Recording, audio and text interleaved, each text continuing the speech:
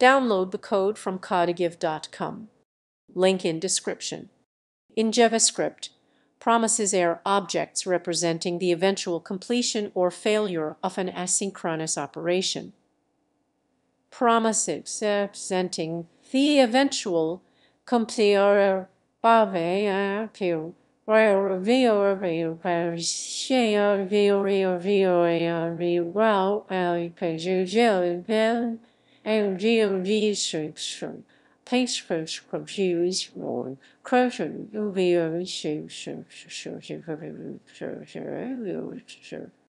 the resolve and reject methods are crucial in managing the promise state. When a promise is created, it is in a pending state.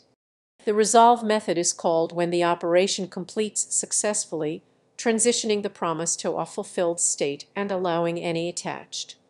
Then handlers to execute. Conversely, the reject method is invoked when the operation fails, transitioning the promise to a rejected state and triggering any attached. Catch handlers. This structure allows for cleaner, more manageable asynchronous code, enabling developers to handle success and error cases separately. By using promises, developers can avoid callback hell and write more readable and maintainable code. Overall, promises are a powerful feature in JavaScript for managing asynchronous tasks effectively.